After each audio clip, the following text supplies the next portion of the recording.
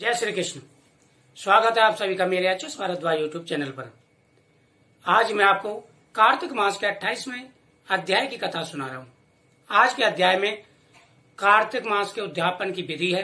किस प्रकार से कार्तिक मास का उद्यापन करना चाहिए? क्या महत्व है? किस किस चीज़ का दान दिया जाता है? कार्तिक मास के उद्यापन में क्या क्या सामान का प्रयोग किया जाता है? और इसका महत्व क्या है? भगवान की किस प्रकार से पूजा की जाती है? कार्तिक मास का उद्यापन विधिवत करने से हर प्रकार की मनोकामना पूरी हो जाती है। राजा प्रतु बोले कि, हे मावा, कार्तिक मास के उद्यापन की विधि कहूँ, तुमको छोड़कर किसमें इतना सामर्थ्य है। नारद जी कहते हैं कि कार्तिक व्रत करने वाले के उद्यापन की विधि सुनो। कार्तिक युग चतुर्दशी को व्रत की संपूर्णता के लिए उद्यापन करें। तुलसी के ऊपर मंडप बनावे, तोरण युक्त चार द्वार पुष्पादि करके शोभित करें। द्वारों में मिट्टी के द्वारपाल बनाकर पूजन करें। द्वारपालों के नाम पुण्यशील सुशील जय और विजय रखें। यानी यहाँ पर माता तुलसी का पौधा हो, वहाँ पर मंडप बनाना चाहिए।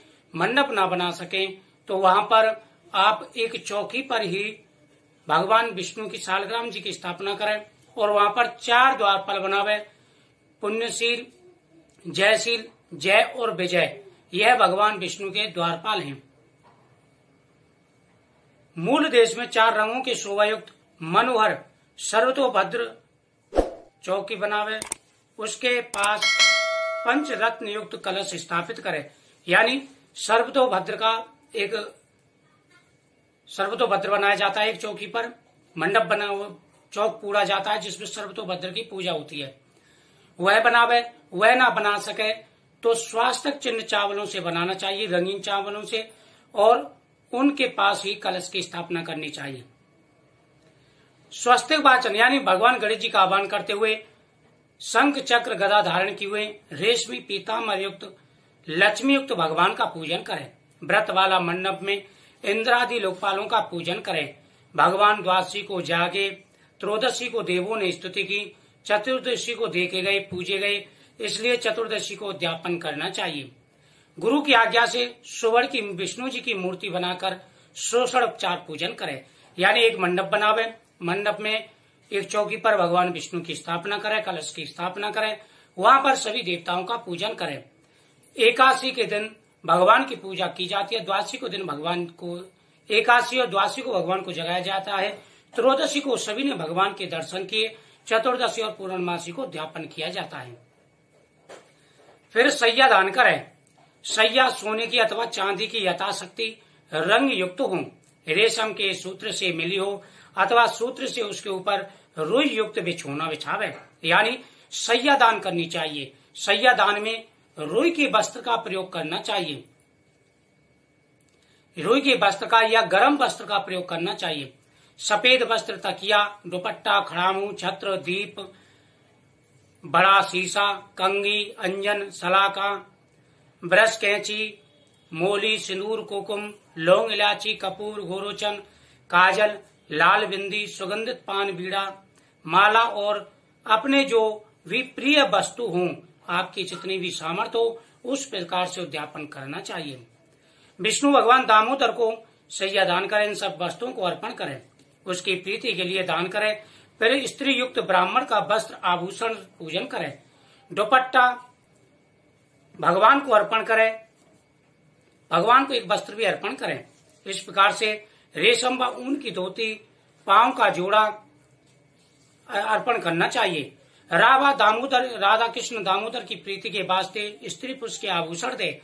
सोना, चांदी तामा पीतल के पात्र फिर भीष्म पंचक व्रत की समाप्ति के अर्थ चांदी के दीपक दान करने चाहिए। जिन्होंने पंचक के व्रत रखे या पूजा की, उनको दीप दान करना चाहिए। दीपक, चांदी का दीपक बना करके दान करना चाहिए। ओम नमो भगवते वासुदेवाय मंत्र का जाप करते हुए तिल और खीर की आहुतियाँ देनी चाहिए। विष्णु जी की प्रसन्नता के वास्ते देवताओं का हवन करें। कत्यायन माता की आराधना करें। शांति के लिए हवन करें। विष्णु जी की प्रीति के वास्ते दक्षिणा देनी चाहिए।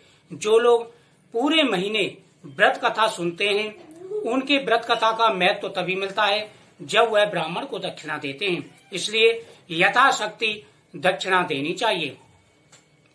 आप भी यथाशक्ति दक्षिणा दे सकते हैं। मैंने पेटीएम नंबर साइड में डाल दिया है, जो भी आपकी श्रद्धा हो। विष्णु जी की प्रीति के लिए दक्षिणा दे, फिर व्रत करने वाले देवता और तुलसी का पूजन करें। कपला गौ का दान करना चाहिए। व्रत का उद्यापन देने वाले गुरु की स्त्री सहित पूजन करना चाहिए। उसके आशीर्वाद से विष्णु जी की प्रसन्न होते हैं। इस व्रत से सात जन्म का पाप दूर हो जाता है और उद्धार होता है। हर मनोकामना पूरी होती है। जो व्यक्ति व्रत करने वाला चतुर्दशी की रात्रि को स्त्री युक्त तीस अथवा एक ब्राह्मण को निमंत्रण कर जैसी शक्ति हो, पूर्णमासी को प्रातःकाल विष्णु जी का पूजन करे, फिर ब्राह्मण का पूजन करे। गौ से युक्त वह पूजा करनी चाहिए, यानी पूर्णमासी को ब्राह्मण की पूजा करनी चाहिए और गौ माता की पूजा करनी चाहिए। तिल और खीर से हवन करना चाहिए। विष्णु जी की प्रसन्नता के वास्ते सपत्नी ब्राह्मण का पूजन करें। राधा कृष्ण की भावना से वस्त्र आभूषण इत्यादि दान करे। यानी ब्राह्मण और ब्राह्मणी के निमित्त वस्त्र का दान करना चाहिए। भगवान विष्णु और माता लक्ष्मी की प्रसन्नता के लिए। इस प्रकार द्वारपाल और कौवों को मार्जन, चूहा, कुत्ता, चांडाल, इनको अन्न दे, पीछे हाथ जोड़ के प्रार्थना करें, हे देव, आज मेरा पूजन संपूर्ण हुआ, तुम्हें नमस्कार है।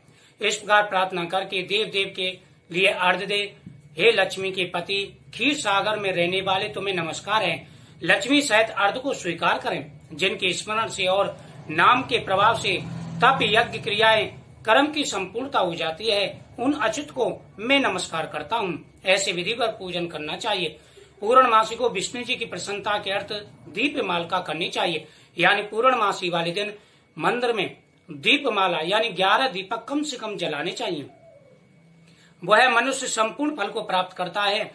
व्रत करने वाला ब्राह्मण को खीर खिलावे, दक्षिणा दे, पूर्णिमा को जल का दान करे, मित्र और गुरु युक्त भोजन करे। कार्तिक और माघ की यही विधि है।